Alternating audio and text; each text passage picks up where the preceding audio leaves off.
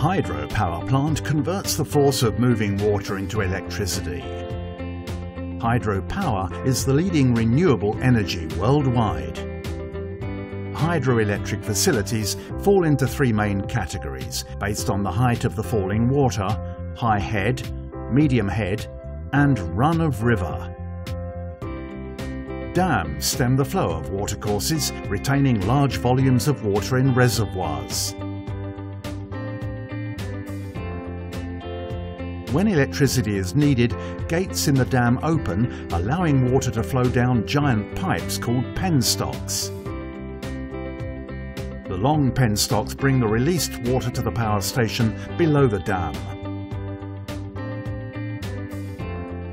To preserve the river ecosystem, the flow of water running in the natural river bed between the dam and the power station is kept above a defined minimum.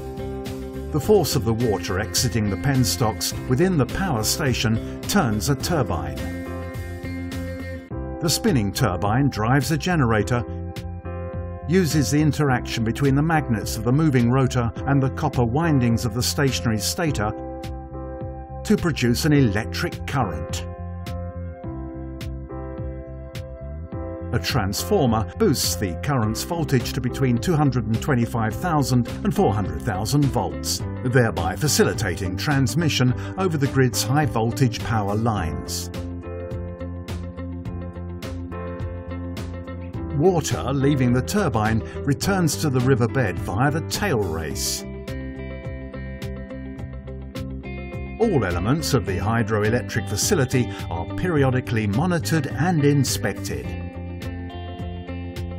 Most facilities are automated and are able to generate electricity rapidly to meet peaks in demand. Hydropower production is not a source of greenhouse gases.